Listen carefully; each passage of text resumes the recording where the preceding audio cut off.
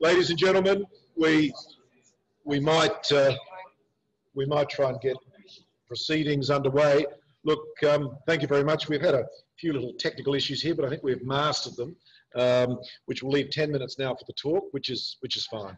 Um, look, it's the 29th plenary uh, speech today, presentation today, and in that time, we've brought people from all over Australia to, to talk to us and uh, also 12 homegrown uh, individuals who we've uh, been able to entice to come and give this talk. So uh, on this occasion, Toby Coates um, is uh, one of our homegrown individuals and we're delighted to have him here.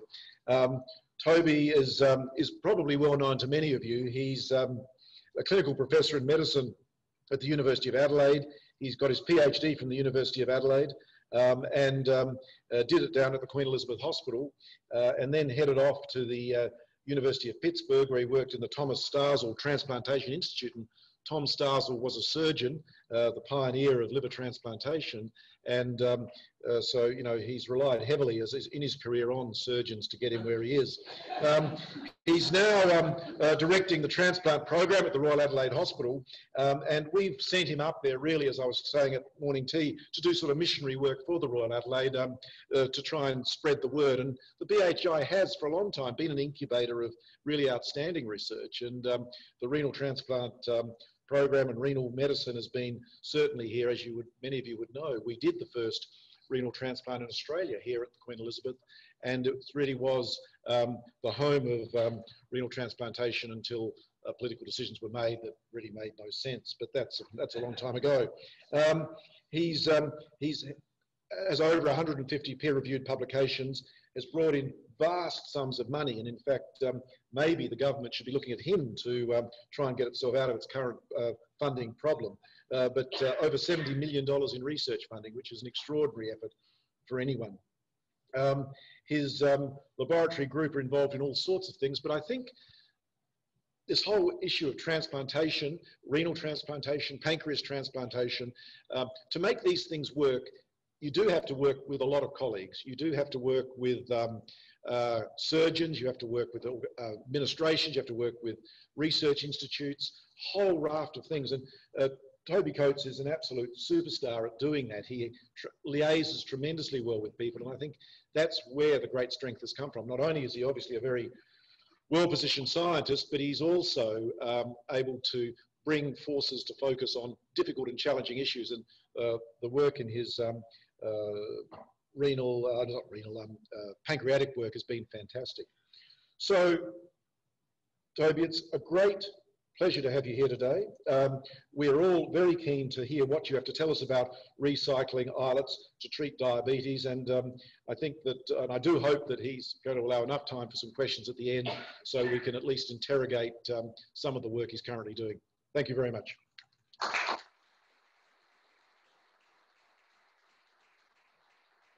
And uh, it's uh, very much a great pleasure to be to be back here, where indeed my scientific uh, and renal career started. Uh, and so um, I guess uh, uh, another thing that Guy and I have in common, apart from the fact that we're both mad keen Port Adelaide football supporters, is the fact that I believe both of us were born at the Queen Elizabeth Hospital when we used to have an obstetrics unit here. So I really go all the way back, um, everything. So thank you very much.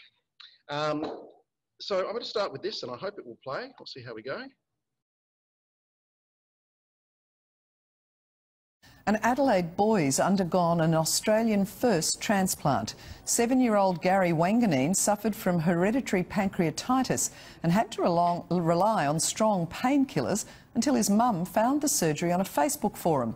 His pancreas was removed and sent to Melbourne, where islets were extracted, the cells were returned to Adelaide and infused into his liver the same day. When you don't have much other choices, you don't really, you've got to wing it and give it a go.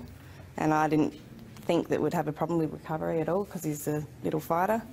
Gary plans to tell his friends he was bitten by a shark when he returns to school. It's a chronic uh, abdominal condition uh, that lasts typically greater than six months uh, and has a, variety of morphological characteristics when we, when we look at them with imaging techniques. For example, calcification in the pancreas. Uh, we often find that there are significant uh, uh, um, structural abnormalities in the pancreas if you do an ERCP, the ducts are damaged, and it produces extremely severe abdominal pain.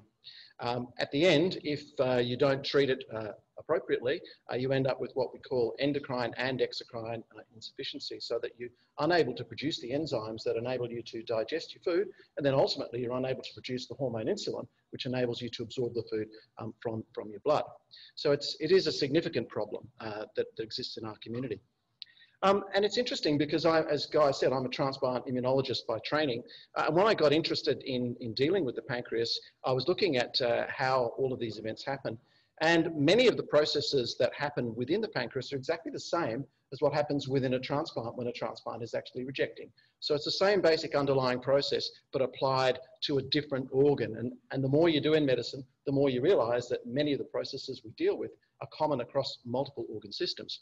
So for example, when you have the healthy normal pancreas sitting up here surrounded by these, these stellate cells, which are sort of cells that uh, patrol the immune system, you provide some insults, such as typically alcohol and tobacco, you get recruitment of inflammatory cells, these cells become activated and you start to develop a process uh, of chronic inflammation around the lobule uh, of the pancreas, pancreatic duct. And then uh, ultimately you end up getting fibrosis, you get more cells being uh, uh, recruited in there, what we call oxidative stress, and this produces the chronically damaged and scarred and inflamed pancreas that, that I'm going to show you through the rest of, rest of the talk. And ultimately, if left untreated, you end up getting duct obstruction and portal duct, uh, pancreatic duct uh, hypertension and severe abdominal pain and a great disruption to life. If we drill down at it even, even closer, um, the disease that we're going to talk a lot about today is a rare disease which is called uh, the PRSS1 uh, genetic caused pancreatitis. Uh, and this is a defect in an enzyme which is called the cationic uh, trypsinogen pathway, or in the cationic trypsinogen pathway. And these uh, enzymes are important in, in producing uh, the, the material, the, the enzymes to digest the food as it comes through in, into the stomach. I won't go through this in any great detail, but here this is really, um, if I, I, could put this slide into a transplant talk and everything there, all the mechanisms that we are used to dealing with in transplantation when we perform an organ transplant. Damage associated molecular patterns, release of double-stranded DNA antibodies, HMGB1, um, toll-like receptors, everything. Everything that's in the, in the rejecting graft is in the pancreas when it's being inflamed and under attack. So these uh, gene mutations that we're going to talk about today, as I say, they're rare and they're associated with a significant degree of either overactivation of these enzymes or underactivation and loss of degradation products. The end, end result of which is a chronically inflamed organ sitting in the back of your stomach, which causes a lot of pain and produces a lot of problems. Um, in the normal pancreas, uh, we have trypsinogen, which is converted to trypsin, uh, and gene defects or hereditary abnormalities here, either in the SPINK1 pathway or in the trypsin pathway, or in this one, which is the cystic fibrosis transport, transport pathway, have all been implicated in these causes of hereditary, of the hereditary pancreatitis, which you'll see a little bit more about in a minute when I describe the families that have been affected. And so um, you can either have too much trypsin produced or too little trypsin produced um, and all of this is under control of this particular nasty gene here called PRSS1. And the bottom line with this is that um, when these things accumulate within the pancreas, we start to get autodigestion. That is, the, the organ itself starts to dissolve itself from the inside out, which you can appreciate would be an extremely painful and very unpleasant thing to have happen to you. So um, you'll see in a minute, um, as I go through the case of how this actually happened, why I ended up getting interested uh, in this. Um, this is just one pedigree of one South Australian family. And the thing about uh, these gene defects is if you leave them long enough, if you have a chronically inflamed pancreas for long enough, uh, that pancreas will develop a malignancy. And uh, adenocarcinoma of the pancreas, as Professor Maddern would know, has got a dreadful prognosis, about 8% uh, five-year survival. And it doesn't matter what stage you get it at, it's 8%. So the treatments that we have for pancreas cancer are extremely poor. And so this is a condition which can produce cancer of the pancreas in people as early as 40. So you'd appreciate that's in the middle of their productive life. Uh, and if we could do something about that to prevent that from becoming a problem, um, that would be a significant thing that we could do. These genes are also inherited in what we call a dominant manner. What I mean by that is that every generation is affected. And that's what this pedigree shows you here. So the little um, red uh, uh, quadrangles here um, show this family here, one, two, three generations affected. Down the bottom here, uh, these are the children uh, of this particular person over here. Uh, and this person has got one, two, three members, three of her children affected with this problem, which typically starts um, in infancy, so usually around the age of two or three, uh, extending all the way into, into early adult life. Uh, and it's a much underappreciated problem. And I'll talk to you about some of the social aspects that go around the outside of this at the end, and you'll see why, why I think it's uh, such an interesting thing to be involved with. So the pancreas gene incidence uh, is anywhere between uh, 5 and about 8% uh, higher than the general population per year. And if you look at it over the lifespan of a whole individual, let's say we get them to 75, um, the risk of developing a, can a, cancer of the pancreas, uh, if you've got this particular gene, is equivalent to the BRCA1 gene. And you all know the money and the, uh, and the, the, the, important money and the important research that goes into uh, BRCA and breast cancer. But this gene has probably a very similar uh, impact, but is much less well known. And therefore, again, I think a reason that we need to, we need to study it further. The other thing that you'll see when we talk about the patients at the end uh, is that this is a disease that has a huge burden on the families, uh, on their on patients, the families, and society as whole, because these uh, chronic abdominal pain issues uh, cause the biggest problem in your most productive early ages. So there's disruption to school, there's disruption to all of the things that we would normally expect uh, people to be getting on with, with their lives. So I want to show you what it actually looks like. So um, in, this is pancreatitis down here on the left-hand side and also on the right-hand side. And in the middle, I've got a normal pancreas. And the normal pancreas in the middle, you see these beautiful cells here, which are called the islet cells. And that's how I've sort of come into this because as Guy indicated, um, my background is in, in, uh, in islet cell transplantation for the treatment of type 1 diabetes. And what you'll notice when you look at the pancreatitis on either side is that although the uh, exocrine tissue uh, is very heavily scarred, the islets are quite preserved. And so they sit here, and you can see them down here at the bottom. You can see them here, despite in a sea of fibrosis, these cells are still alive and viable. And when you look at patients with chronic pancreatitis, what you actually see is most of them don't end up becoming diabetic. And that is because the pancreatic islet has 10%, only being 1% of the, the uh, cells in the pancreas, has got 10% of the blood supply. So it's the islets actually stay right towards the end. They don't die early, they're still there. And that's why they're of, they're of interest, interest to me, because they're potentially viable. Now, when we do a whole organ pancreas transplant, which is a program that we've started uh, up at the Royal Adelaide Hospital, um, this is the beautiful uh, pancreas that we would get, the typical pancreas that you'd expect to see. Um, and that is a very healthy looking pancreas. These pancreases that you can see down the side here are the sort that Guy and the team down here would deal with, chronically inflamed, very badly damaged, red, angry, nasty looking organs. And you can appreciate that if that's sitting in your, your abdomen being inflamed, that's not going to be a happy, happy situation at all. So the process, and I don't know whether this one will work either, doesn't look like it's going to.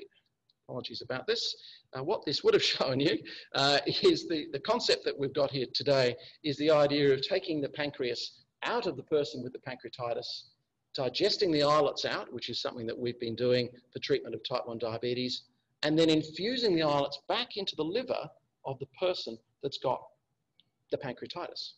And of course, because they're the person's own cells, there's no immunity barrier, barrier to overcome. So you don't have the problem that we've got uh, with either a whole pancreas or with uh, an islet cell transplant of having to deal with deal with the immune system and trying to dampen it down. So in terms of a, cellular transplant, as an auto transplant, it's uh, actually a, a, really good thing to actually do. Now, Guy, Guy did quite correctly indicate that I have been working, I would say, for surgeons all of my life. Um, so this is these uh, procedures were first developed uh, in the United States, and this came from Minnesota, uh, the first pancreatectomy and islet auto transplant. Uh, and that's Donald Sutherland down there, who uh, did the first one back in 1974, and they've got a huge amount of experience um, in doing this. Uh, I'm going to show you their, their insulin independence results because I want you to note this because when I get to the end and show you ours, because frankly ours are better. So they get about 32% of their patients off insulin when they, when they do this. Uh, most of them uh, will have C-peptide, that's the hormone that the islet cells make, indicating that the transplanted cells are surviving and, and viable. Um, most of them are able to get uh, their patients off off the opioids because that's the other the other thing about this is the impact of this treatment in terms of reducing the dependence on opioids and the impact on society and that's why it's something that, that we think it's a, a very very useful thing for us to be investing here in South Australia. So there are a variety of procedures that can be performed. Um, I'll show you, I'll, I'll, keep it very straightforward and simple. Um, essentially, you can uh, do the total pancreatectomy and islet auto transplant with or without preservation of the spleen, depending on, on how you want to do this. The, um, the argument for preserving the spleen, particularly in children when we do this uh, operation, is there's a huge amount of immunity that's left in the spleen and we want to keep that if we possibly can. The disadvantage of preserving the spleen is that the pancreas runs right up to the, to the tip of the spleen. And so if you've got an inflamed, inflamed pancreas, you've usually got an inflamed spleen as well. And you can spend a lot of time trying to dissect that out. The longer you have to get the pancreas out, um, the less islets you're going to get back at the other end. So it's a trade-off between whether you preserve the immunity on whether you get the pancreas out quickly, and as you'll see, to get it on the plane, to get it to Melbourne, to get the cells isolated, to get them back, which you'll see, which you'll see in a second.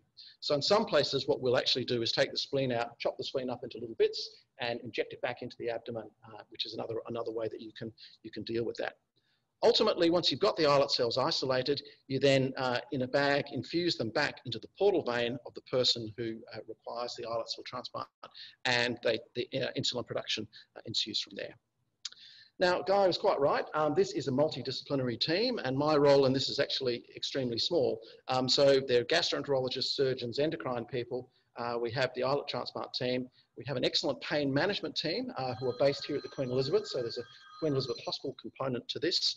Uh, the main surgeon uh, the, uh, is our liver transplant surgeon, John Chen, who comes from the Royal Adelaide and from Flinders Medical Centre. And there's clearly a role for social workers and, and coordinators because this is quite a logistic issue, which you'll see as I show you. There are a variety of tests that we'll do on these people before we do these procedures, uh, and that is we want to be sure that we're taking the pancreas out of somebody for the right reasons. And so that will involve uh, endoscopic ultrasounds, and Nam Nguyen up at the Royal Adelaide is uh, one of Australia's best people at doing this, very good at this. Magnetic resonance imaging, which I'm showing you here, uh, and uh, imaging of the duct um, to make sure that the, that the pancreas is in fact uh, intact. One of the problems that we've got is that the more interventions that you do on the pancreas, um, the greater the chance of the pancreas becoming colonized by bacteria from the gut. And that has caused us significant problems after when we do this uh, procedure because once you've isolated the cells, if you've got gut contamination in there, you've got nasty bugs that are there ready to be infused into the liver of somebody. And we've had people become quite unwell uh, when we've done this. So, so it is important. After you do this operation, um, the approximate stay can be between 10 and 14 days, usually two or three days uh, in the intensive care unit. The most recent uh, two that we've done in adults at the Royal Adelaide Hospital, we had out at eight days. So we're uh, achieving this uh, in under the time that, that's required to be done. We run an insulin infusion uh, because we want to uh, rest the islet cells whilst they're embedding in their new home uh, and we have very tight blood glucose control. And that's something that we learned from doing transplants um, uh, for type 1 diabetes. We have long-acting insulin on board and then also short-acting insulin. The pain unit comes and advises us on how we're going to deal with uh, uh, how, the, how we're going to deal with the pain, uh, and usually that's uh, by PCA. We do a liver ultrasound very early on because we're infusing cells into the liver, and the biggest complication that you can get is a portal vein thrombosis, and if you get that, you need liver transplant. So we try to avoid doing that if we possibly can. And so we anticoagulate these people therapeutically as well. So it's a risky business when you do this. And so you don't rush into these operations unless you, you absolutely have to. And then we discharge them when their pain is under control and they've got stable insulin dosing and they're tolerating, tolerating food. And as I say, the last two adults we did, we got out in uh, seven and eight days respectively, which I was very, very pleased about. So what's in it for society? Uh, these are people that are greatly disabled by pain uh, and they're usually opioid dependent. Uh, and what you'll see here, and this is data from uh, Ashley De uh, Dennison, who's been a, a, supporter of our program from the word go, from the University of Leicester, um, he's able to get virtually uh, most of his people, at least 37% of his people, off insulin um, at, at 12 months. So he's been getting very good results as well in terms of giving enough islets back to make sure that you've got enough to remain, to remain insulin independent. The Minnesota experience is very, very similar. Um, they have uh, a difference in terms of uh, how many people get off different types of insulin. But the most impressive thing in their very large series is at least 90% of the patients who've had this procedure undertaken in the States said they would absolutely do it again, which is important. So patient selection is very important, and the rule on this is first do no harm. And that's why we've developed a multidisciplinary team that crosses all three hospitals and the women's and children's to appropriately assess these patients before we go ahead and do them.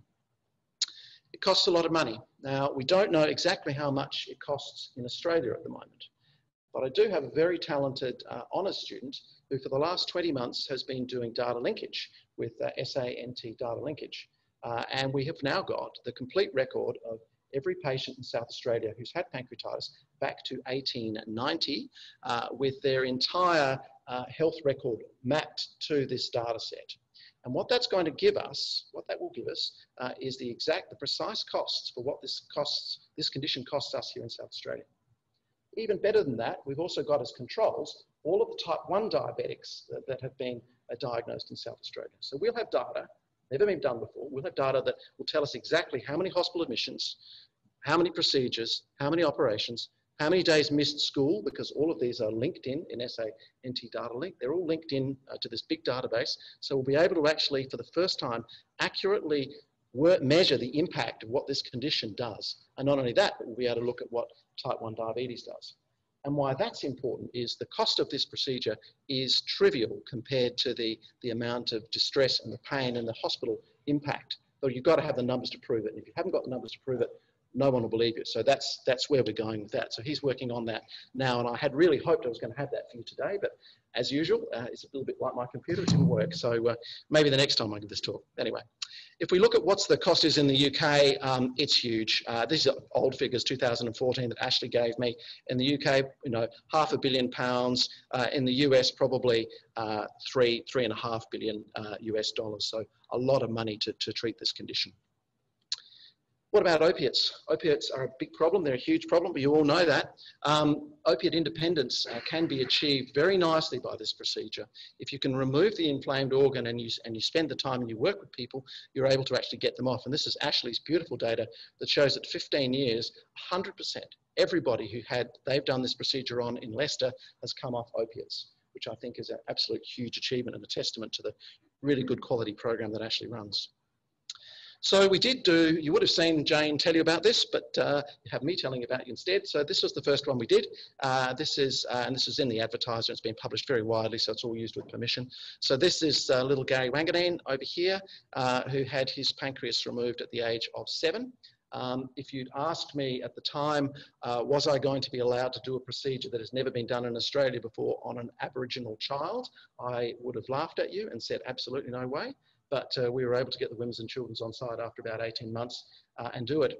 And the, the truth was his mother here, Chanel, um, she found this surgery on a Facebook uh, forum, uh, connected with people in the United States, worked out that this was the most appropriate treatment for her son, and basically badgered the women's and children's to a point where they agreed to fund it and do it. So it's proof that the power of one can, can actually achieve things. She's a remarkable, remarkable woman. I'd also like to acknowledge here, in case I don't do it at the end, uh, Chris Drogemuller, who's our principal islet scientist. There is a very strong need to have uh, research scientists in, embedded in hospitals, uh, and the fact that they've been allowed to disappear from hospitals is a shame, in my opinion. Uh, we need research scientists attached to be able to do things, and Chris is our research scientist. Tony Radford's our islet nurse there, and they've been involved with the program all, all the way through. So it'll be my pitch to anybody here who might have influence that we should bring back more scientists into the hospital. So little Gary, um, he had this uh, PRSS1 gene that I told you about. Um, you can see what he was on. He was uh, seven years and eight months of when he did this, 21 kilograms, which is not very heavy. Um, so he's taking amitriptyline, um, some uh, omeprazole, creon, oxycodone, and gabapentin. None of that stuff should be taken by seven-year-olds. Absolutely not. And, but he was on that to control the pain. I mentioned his father had the same gene, and his father underwent a pancreatectomy at the age of 40 uh, without islet transplantation because that didn't, technology didn't exist until we started the islet program uh, at the Royal Adelaide Hospital. He's also got a younger brother who is uh, uh affected with the same condition. Very hard to read this, but what I want to point out to you is uh, the impact of this condition on this individual. This is the timeline here between 2011 and 2015, and all of these red stars here are admissions to the Women's and Children's Hospital or admissions to Flinders Medical Centre. The gene we identified back way back here, right at the beginning, we weren't able to do anything about it till right over here. So you could again appreciate that lag time that it takes to actually get things to happen. Um, in the yellow bar, this is uh, pancreatic exocrine enzyme replacement. So this is the creon. So his pancreas, in terms of secreting the, all of those digestive enzymes, had failed very, very, very early on. So he was really didn't really have an organ that was doing him very much good other than controlling his blood sugars. And you can see here the oxycodone starts just after 2012. So again, a huge impact on this particular individual. The most impressive thing uh, is that now post this uh, admission, he's uh, post this uh, procedure in the last five years, he's had two admissions to hospital. So a huge impact. To do this surgery um, is a huge team effort, as Guy said, um, and it crosses all sorts of uh, everybody gets involved. Um, to do this, we, we have to start the anaesthesia at 5.15 in the morning, uh, so very, very early, so the surgeons have to come in early to, to get things going, or they open up the theatres. Pancreatectomy usually starts about 6 um, in the morning. John Chen, this particular one was done by John Sanjeev Khurana from the uh, Women's and Children, and Chris Russell, who's our transplant uh, surgeon from Royal Adelaide. We then packaged the pancreas up and we, into University of Wisconsin solution, and shipped it, or ship it, to Melbourne. And we do that via a commercial flight, believe it or not.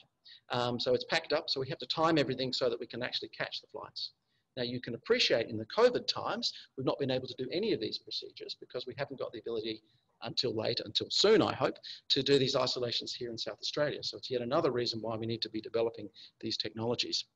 The islets are then isolated, and I'll show you some pictures about that, and that's quite a complicated procedure and then return to Adelaide by commercial flight. Um, we uh, re-infuse them into the patient uh, on, on the same day via a portal vein uh, catheter. and that usually, the, the infusion, the, the, transplant bit of it's actually trivial compared to the isolation bit of it. Uh, and it usually finishes about 10 o'clock at night and then we all go to the line, I'm not joking, we all go to the line of a beer when it's all done with uh, everybody who's been involved this is what the what it looks like. Here's the theatre, uh, theatre starting at five o'clock in the morning, and there's John and, and, Chris involved in this particular operation. That's what uh, the pancreas looked like. That does not look like the pancreas I showed you earlier on. That is a horribly fibrotic and scarred uh, piece of calcium. Basically, it's a rock. And we were uh, actually quite pessimistic that we'd get any islets out of it whatsoever. Uh, we've cannulated the duct here, so to, to get the enzyme, the islets out, you have to break this up um, with uh, uh, some very heavy enzymes themselves to dissect the tissue and, and break it down. Um, this is done in the clean room. Uh, this is a picture of the clean room at St Vincent's Institute. There's the pancreas, and you basically come in from either side. So it's a clean room in a box, which is much the best way to do things. You don't need a gigantic clean room where everybody has to be sterile, you know, like something in a nuclear power plant. You actually need a very small area to do what you need to do, and that's what this uh, uh, the BioSpherix chamber actually does. It's a very effective way, cutting edge way of doing these things. Here's this pancreas, which we've dissected up into these little tiny chunks.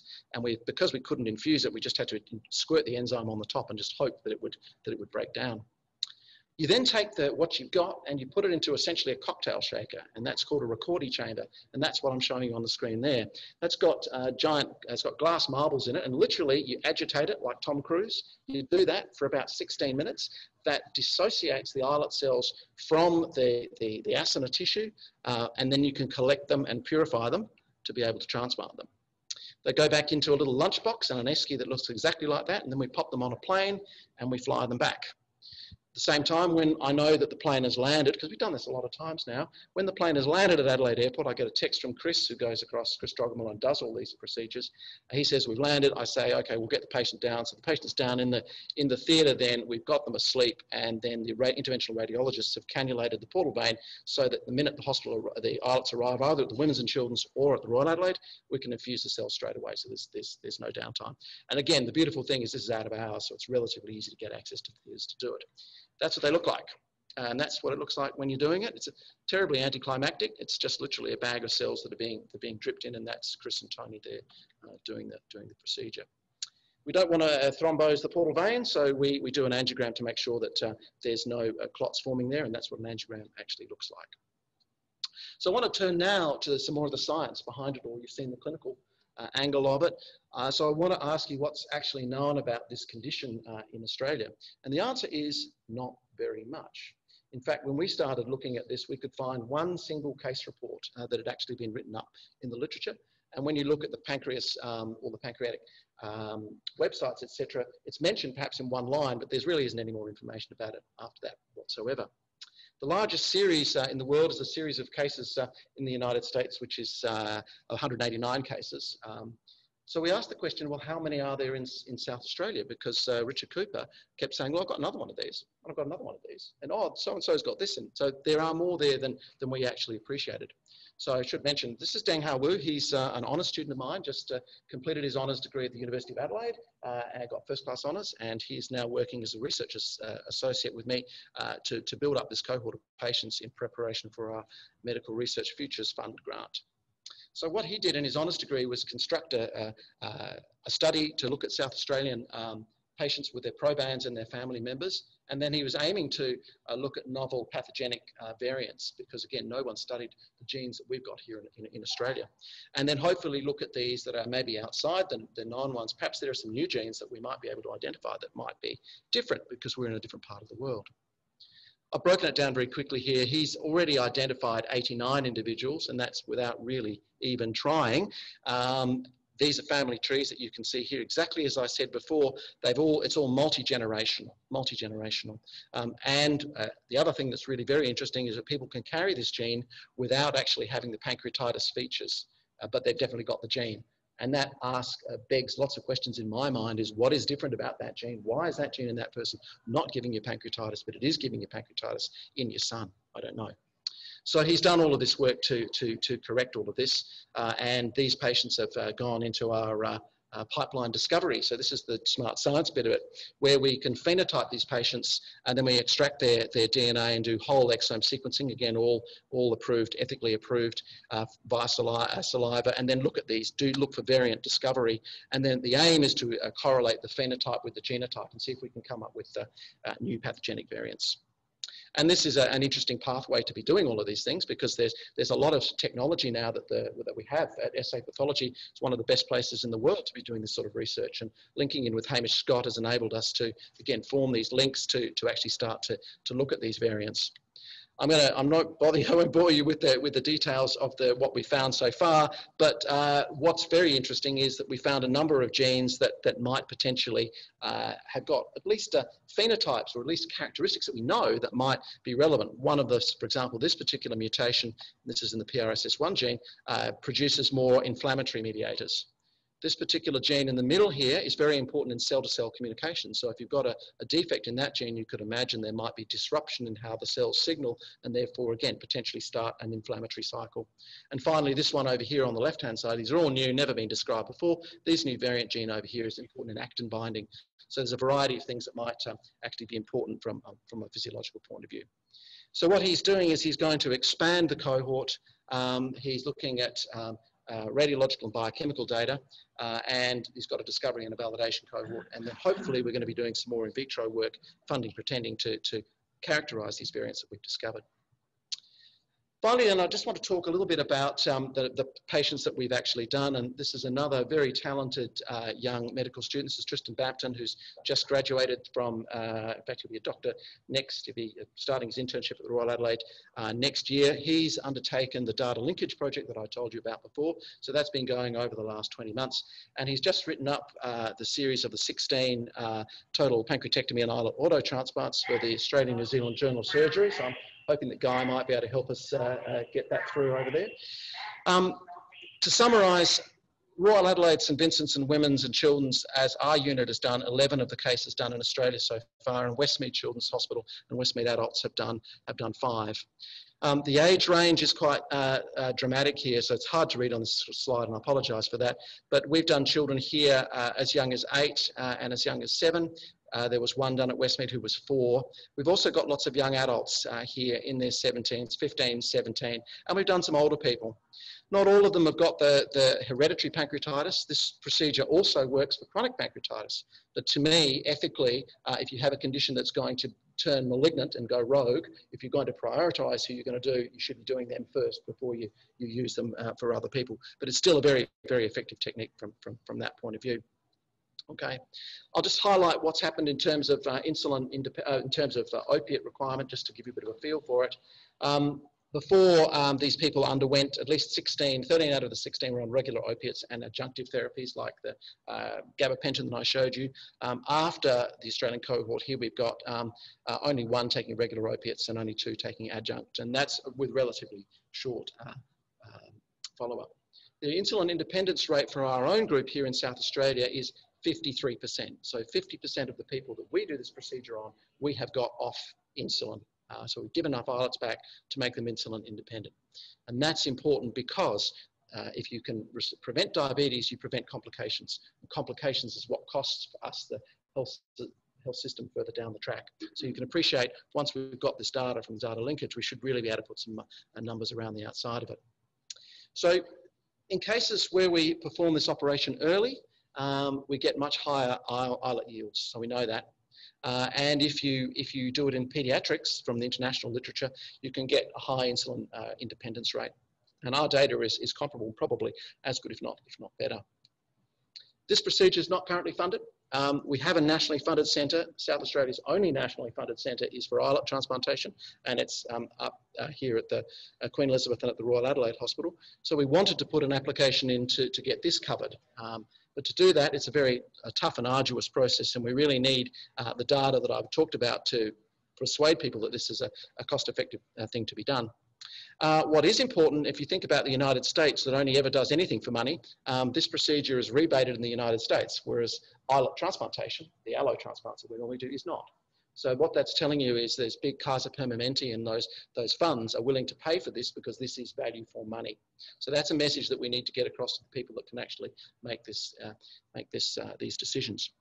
And the other thing that I haven't really stressed in this talk um, is that 50%, 50% of the people that we have done in South Australia identify as Aboriginal or Torres Strait Islander background, 50%.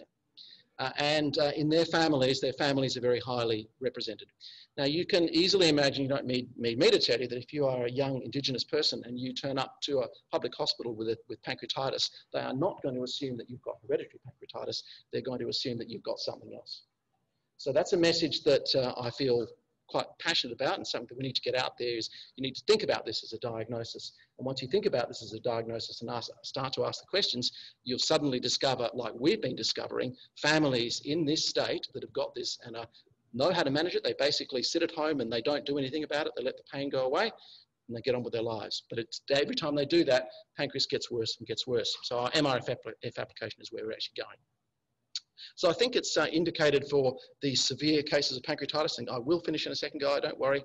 Uh, I can tell you that the patient uh, satisfaction and quality of life um, is, is pretty good. Um, the nice thing about this as a cell therapy is we don't need to purify it because um, it's, it's an autologous therapy and we can certainly get good insulin uh, independence and we can get people off that.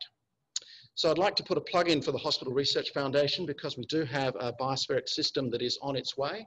Uh, this fund, it was a $1.1 million investment, uh, philanthropic investment by the Hospital Research Foundation to get us a BioSpherix chamber. Uh, we're just working on the logistics of building a box in the in SA Pathology and this and the machine itself is on its way, well, uh, will be on its way, COVID permitting, um, later in the year, we hope. And there, there's some issues around the outside of that. And there's also been some state government support. But there's absolutely no doubt that without the Hospital Research Foundation and the funds that they have committed to enable us to do this procedure, we would not have the experience that we actually have. So it's a really good example of, uh, of um, uh, philanthropic, uh, philanthropic work. So with any luck, I will finish with this.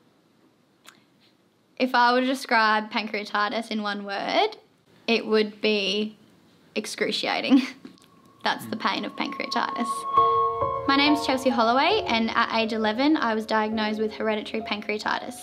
Pancreatitis is a condition where your pancreas decides to initially pack up on you and um, become extremely inflamed. So, at age 11, when I was initially diagnosed, I was told that there is nothing possible to fix my problem.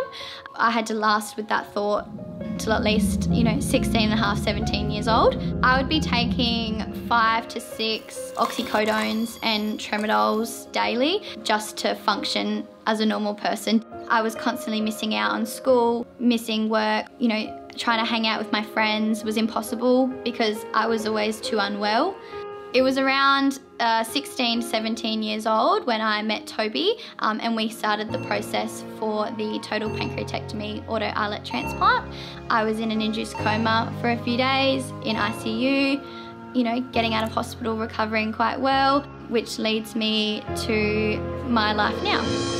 I work full time, don't have to have time off. I play in the Premier League netball squad. I can hang out with my friends and family as much or as little as I want to. I'm never in pain. I am completely saved by this surgery. Pancreatitis in my family is hereditary. It comes from my mum's side of the family. If Toby can support me and change my life as much as he has, I'm so excited to see what he can do for others, especially my family in the future.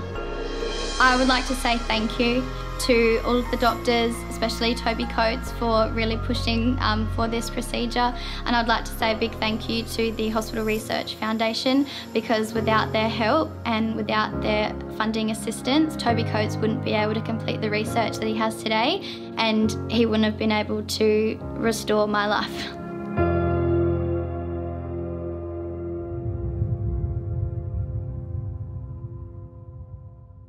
Team effort, and there's a huge number of people that have been involved in this, uh, national, uh, international collaborators. Um, a lot of people uh, in the lab. Um, I mentioned uh, uh, particularly Tony and, uh, and Chris, but obviously our isolation scientists at St Vincent's and our collaborators in the Australian Islet Consortium and people that we've flown in from overseas to help us do this because that's, you know, we're not lawyers, this is how we do it. We all get together and we try to make things happen. So in which case I will stop.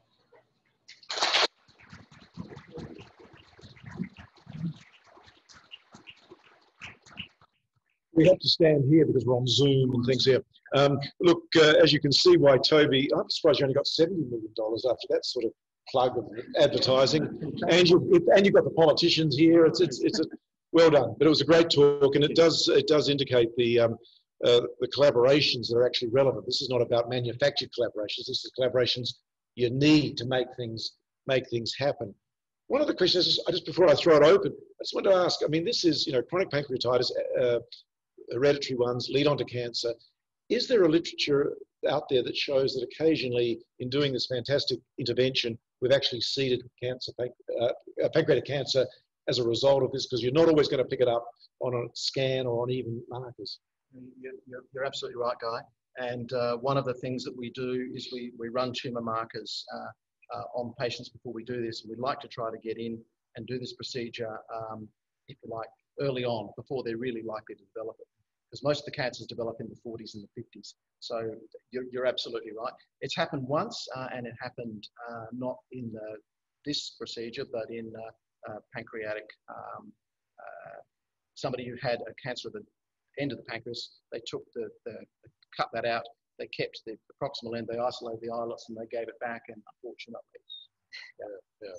All right, questions, please, from the floor. Anyone? Yes. Um, now, I think the way we have to do this so they can hear it is we'll repeat the question after it's been asked. Andreas. So what is the time frame between surgery and Time frame between surgery and insulin dependence. Yeah, it's um, it's uh, uh, it's a very good question. Independence. Um, it's uh, it depends really where you're having it done. So uh, if you are if you're having it done at the Women's and Children's, uh, which is a wonderful institution, um, it takes many, many months. And that's because they, they're used to dealing with children with type 1 diabetes. And so they're very gentle at, at actually withdrawing the insulin. If it happens at the Royal Adelaide Hospital, where we are, um, we tend to look at the sugars, we look at the C-peptides, we say that looks pretty good, uh, and we start cutting back the insulin relatively early. But you're absolutely right. Uh, the minimum time is about two weeks because you want those cells to actually embed and not be stressed uh, and, and revascularize. And that's again something that we've learned from the doing this for, for children at top. So important that uh, having those become dependent again if, if results. Yeah, that's a good. That's also a good point. Um, what tends to happen uh, is they essentially become type two diabetics. So they'll end up um, over with, a, with for a long period of time. They'll end up being still C-peptide positive because remember, there's no autoimmunity here. So we're not actually dealing with the, the, the, immune system attacking these islets. So when they, when they die, they die because they're exhausted through age. Um, so what happens is they become, they become insulin, they're glucose intolerant, and then you put them on uh, onto some oral hypoglycemics and, and, and, and run it that way. And that's certainly happened to at least one of ours, one of the 11 that we've done here um, so far. So yes, it, it, it, does happen. I think, and I'll put a plug in for C-peptide, which is my great un, unloved uh, hormone. Um, I'm pretty sure that C-peptide does more than just be a tail molecule for making insulin. And there is a literature around this that suggests that it may be important in vascular uh, remodeling and vascular protection. So provided there's C-peptide positive uh, and you can manage them on a single daily dose of insulin, it's really, or oral hypoglycemics, it's really not too bad. There's a question. Yes, Joy. What I was interested in what happens to? Do they form islets or so, so the question is, what happens to the islets that get perfused into the liver? Yeah. Um, they basically get embolized into the very small uh, vessels. um, and that's where they sit, and then they revascularize and they and they make they make uh, insulin and all the other hormones. Um, occasionally, um, overseas with allotransplants for type one, uh, we've had people um, who've died, and we've been able to uh, get the liver and sec- resect, resected, look at it, and you can see them sitting there, sitting there quite quite happily.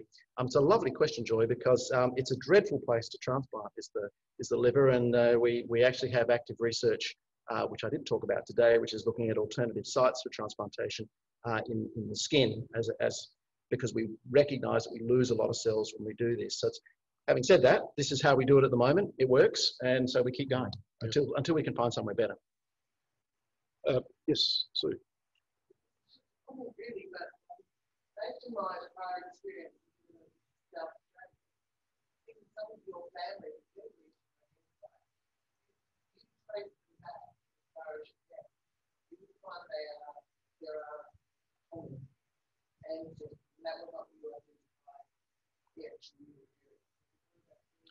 So the question is, uh, in South Australia, because we're so incestuous, um, it's um, it's possible often to get back to uh, very source uh, individuals. Um, so that's the question, Tony. Absolutely. And uh, when you talk to these Indigenous uh, families, um, there, there is an elder um, who was met about eight generations ago, who they will say is where this came from. Um, but obviously, you know, that's that's that's a story, and it's a good story. And uh, as far as we can tell, the other nice thing about doing the genetic analysis, of course, is we can look at the degree of relatedness. That's easily done with whole exome sequencing. So when we've got all the families together, we should be able to actually build a bit of a better map. Having said all that, um, you know what? I, again, what I didn't point out was that we've had people come to Adelaide from Western Australia, to Adelaide from uh, Queensland and New South Wales, and we've almost got one coming from Victoria to access this treatment here. We've got Indigenous families that have come from uh, New South Wales as well, so they're probably not going to be related. So I do think I think there's another story there that we need to we need to carefully dissect, and I think the sociological things that I described before are extremely important and an aspect of this uh, project that uh, needs to be followed up. Paul. So, I mean, where, where else uh, in the Southern Hemisphere is this done other than um, here and? We're the only two places uh, in the Southern Hemisphere doing this.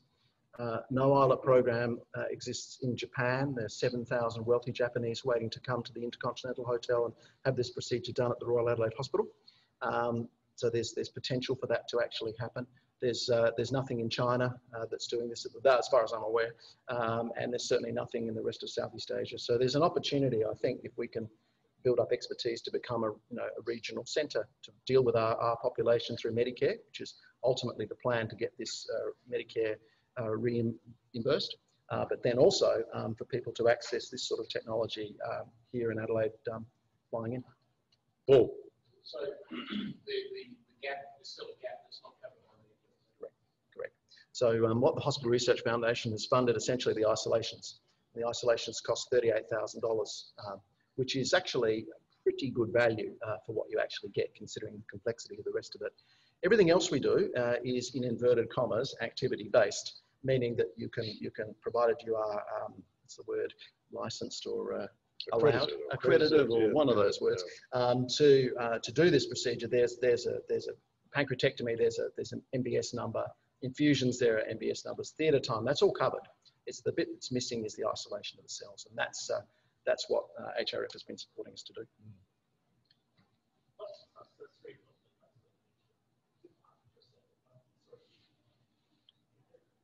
So the question is, what is the success rate of the transplantation?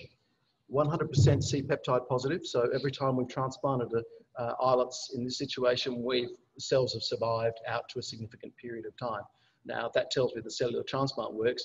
The, the better, the, the other question that goes with it, of course, is whether or not that's enough to come off insulin.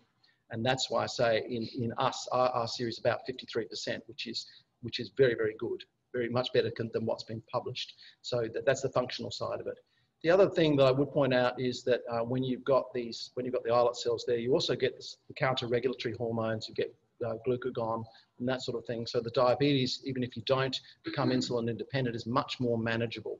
If you have a pancreatectomy, as I'm sure Guy would attest, without replacement of the beta cells, you produce a terrible type 3 diabetes, which is extremely brittle and difficult to control. How important is it that you actually use fresh uh, So the question is, how important is fresh islets? And it's very important. It is. They don't, they don't freeze, unfortunately. Um, so we can't actually cryobank them. We wish we could.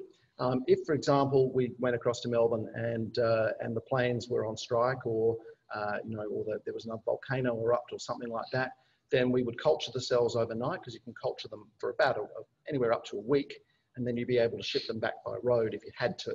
Uh, but that's clearly a, a much better option would be to isolate them here and not have any of this um, palaver going on. And, and that's again where we're going with the, with the Research Foundation and hopefully the MRFF. Last question. How much uh, would it be worth the South Australian economy to get medical tourism coming, get these Japanese people? So, so the question is, uh, will we solve our state debt by bringing Japanese tourists to have this procedure done? Thank you, Austin. Lovely question.